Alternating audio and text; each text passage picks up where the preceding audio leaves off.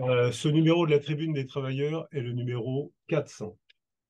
Ce numéro 400 de la Tribune des Travailleurs euh, consacre d'abord un éditorial à la crise de l'État telle qu'il s'est développée dans les, euh, dans les derniers jours. C'est sans précédent dans toute l'histoire de la Ve République de voir les deux piliers fondamentaux de l'État, que sont la police d'une part et la justice d'autre part, s'affronter avec dans les deux cas, le soutien euh, tacite ou explicite de leur ministre. Il est clair que cette crise de l'État euh, aura des prolongements. Quelle est son origine?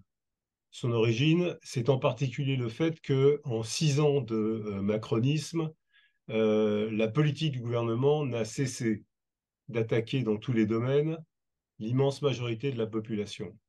Et cette politique a provoqué contre elle des surgissements importants dont l'un des derniers développements a été le mouvement de six mois de grève et de manifestation sur la question des retraites. Les travailleurs, les jeunes, sous toutes les formes, résistent à la politique du gouvernement. Mais Macron ne répond à cette résistance que par la répression d'une part, par le recours aux mécanismes les plus antidémocratiques de la Ve République, on pense à l'article 49 terre, et par conséquent se confronte à la population en refusant d'entendre la moindre revendication et en accentuant toujours, toujours plus l'aspect répressif de ce régime. Et cette situation crée des tensions et des crises à tous les niveaux, dont la crise de l'État qui s'exprime ici est l'une des dernières manifestations. Dans un communiqué commun, le Parti socialiste, Europe Écologie Les Verts et la France insoumise euh, en appellent au chef de l'État et une nouvelle fois, comme ils l'ont déjà fait à plusieurs reprises, euh, s'adresse au président de la République en disant Nous attendons du président de la République qu'il joue son rôle de garant de la Constitution en faisant le nécessaire pour établir l'ordre républicain dans la police. Nous écrivons dans la tribune des travailleurs qu'une telle déclaration nourrit les illusions les plus dangereuses. Macron est le principal responsable de la situation dans laquelle se, euh, se trouve le pays il est le principal responsable de la crise à la fois sociale et institutionnelle. Peut-on attendre de lui qu'il la résolve dans le sens de la démocratie? D'aucune manière. La crise de l'État ne sera pas résolue dans le respect de la Constitution antidémocratique de la Ve République. La crise en cours exige au contraire d'aller à la racine. Elle exige d'en finir avec cette Ve République antidémocratique. Elle exige de mettre en place une République réellement démocratique, qui soit démocratique non seulement dans la forme, mais dans le contenu social, ce qui signifie en particulier chasser la politique de Macron et chasser Macron lui-même. C'est le point de vue qui est développé dans ce numéro de la Tribune des Travailleurs. Ce point de vue est développé en relation avec ce qui en fait euh, le titre, à savoir Macron plonge le peuple dans la misère et il trouve cela proportionné. D'où vient cette citation? Cela vient de, euh, de ce passage du, euh, de l'intervention télévisée de Macron, l'interview qu'il a donnée depuis Nouméa en début de semaine, dans laquelle il est interrogé sur euh, les hausses des tarifs de l'énergie. Et il dit, certes, il y a des tarifs, euh, il y a des hausses de tarifs, mais enfin, dit-il, euh, je sais que c'est difficile pour nos concitoyens, toutefois, je pense que c'est proportionné. Il y a dans cette déclaration à la fois de l'inconscience et de l'arrogance. C'est proportionné, les augmentations des tarifs de l'énergie? Comme nous l'expliquons dans le journal, il faut que les, les travailleurs et les militants aient ces chiffres en tête. Euh, les 10% d'augmentation des tarifs d'électricité qui sont imposés à partir du 1er août prochain, dans quelques jours, ne sont que le début du processus. Le euh, comité de régulation de l'énergie lui-même euh, envisage des augmentations des tarifs de l'électricité d'ici la fin de l'année qui pourraient de l'ordre de 75%, voire même de 100%, un doublement des tarifs. Et d'ailleurs, les ministres, et nous le citons dans le journal, ne s'en cachent pas, ils disent, voilà, l'an dernier, nous avons dépensé 21 milliards des fonds de l'État euh, pour euh, le bouclier énergétique. L'an prochain, nous ne dépenserons que 7 milliards. Faites la soustraction, 21 moins 7, ça fait 14. Il y a 14 milliards de dépenses de l'État l'an dernier sur les questions d'énergie qui vont être désormais supportées par les travailleurs et leurs familles.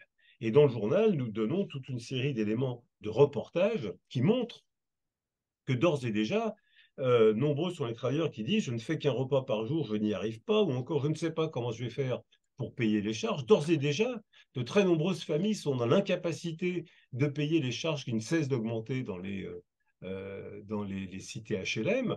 Or, c'est avant la libéralisation de l'ensemble des tarifs, c'est avant le retrait du bouclier énergétique. Il y a donc une situation totalement intolérable et le gouvernement Borne 3 qui a été mis en place a été mis en place pour frapper encore plus durement les travailleurs et les jeunes et on donne dans le journal un certain nombre de portraits de ces, travailleurs, de ces, de ces sites, de, ces ministres, excusez-moi, c'est une bêtise, de ces ministres et de pourquoi ils ont été choisis, pour quelle besogne ils ont été sélectionnés.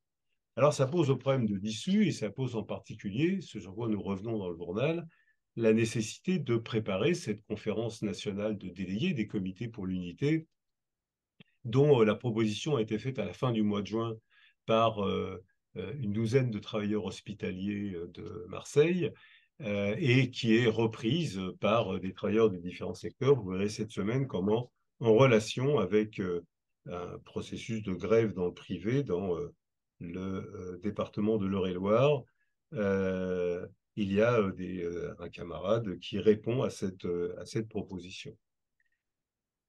La page centrale de la tribune des travailleurs est intitulée Contre les gouvernements fauteurs de guerre.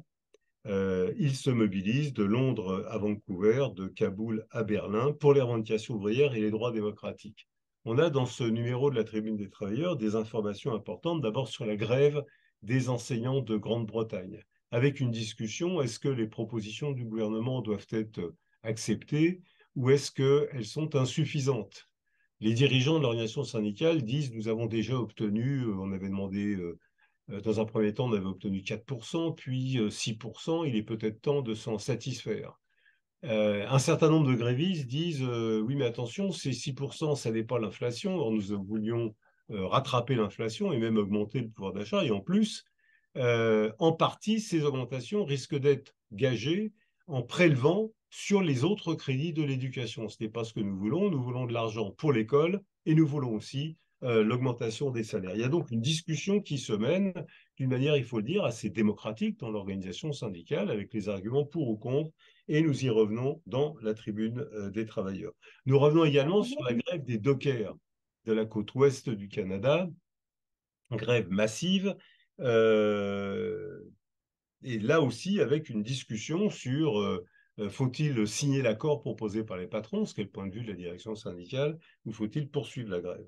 Mais il n'y a pas que le Canada ou la Grande-Bretagne. Nous revenons également sur la manière dont un secteur du mouvement syndical en Allemagne dit clairement ce n'est pas le budget de guerre qu'il faut augmenter, mais ce sont les revendications ouvrières auxquelles il faut répondre. De même, s'agissant sur un autre plan des manifestations de femmes afghanes contre la fermeture des salons de beauté, qui sont le lieu dans lequel elles peuvent se retrouver et discuter de la situation.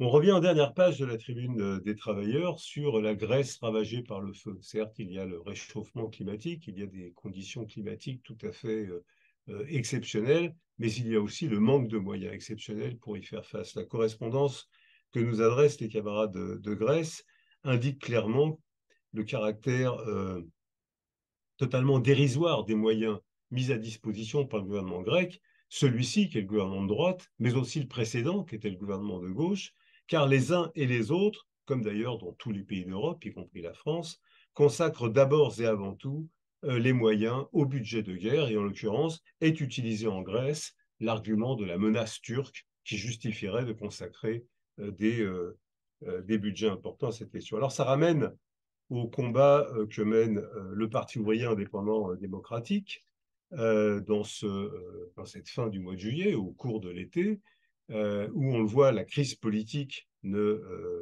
ne disparaît pas, loin de là, et où le caractère intolérable de la politique du gouvernement se mesure euh, tout particulièrement dans le fait que la loi de programmation militaire qui a été adoptée euh, la semaine dernière, il y a deux semaines, euh, envisage de consacrer, décide de consacrer 413 milliards d'euros dans les cinq ans qui viennent à l'effort de guerre. D'ailleurs, Macron à Nouméa et les ministres qui l'accompagnaient ont insisté sur le fait que la présence militaire française serait euh, renforcée euh, dans cette partie du monde et qu'elle serait renforcée au regard, c'est toujours le même argument, de, entre guillemets, la menace chinoise qui exige une présence maritime et militaire française très importante. D'ailleurs, l'une des sous-ministres du nouveau gouvernement Borne vient d'annoncer que la France comptait faire un effort particulier d'aide à l'armement en Corée du Sud en prévision d'une confrontation militaire. Donc on voit bien que la menace de la guerre déborde très largement la situation en Ukraine et à l'est de l'Europe. Elle tend à s'étendre, à se généraliser. Des budgets de guerre euh, faramineux sont votés régulièrement par les États et ils sont littéralement, euh, euh, comment dire, leur financement repose sur le fait que les, les, les, budgets des services publics, les budgets de la santé, de l'école, etc., sont dans tous les pays de plus en plus siphonnés vers les besoins de la guerre. Il est clair que cette situation ne peut pas durer. Ceux qui nous disent qu'il faut euh, respectueusement s'adresser au président Macron pour qu'il emprunte un autre cours, ceux-là font fausse route. Ce n'est pas en s'adressant à Macron qu'on va changer la situation. C'est en rassemblant les forces de la classe ouvrière, en rassemblant les forces des travailleurs, de leurs organisations syndicales, des organisations politiques qui prétendent parler au nom des travailleurs, de rassembler ces forces pour combattre l'ennemi commun. L'ennemi commun, c'est le gouvernement Macron. C'est la classe capitaliste dont il est le serviteur. Et les travailleurs ne peuvent pas attendre quatre ans dans cette situation qui ne cesse de se dégrader. C'est maintenant, c'est tout de suite qu'il faut chasser Macron, qu'il faut ouvrir la voie à un gouvernement de la majorité qui réponde aux besoins du peuple travailleur. Et c'est la raison pour laquelle, dans chacune de ces journées de juillet et d'août, les militants du PUID continueront à se déployer autour du journal La Tribune des Travailleurs, à faire en sorte que les abonnements soient renouvelés. Il faut se féliciter que, une nouvelle fois, l'objectif fixé pour les abonnements d'été ait été atteint et dépassé dans ce numéro du 26 euh, juillet, et se donner les moyens de rassembler le plus largement possible avec le POID les travailleurs et les jeunes de toute tendance qui cherchent la voie du combat pour en finir avec Macron et sa politique.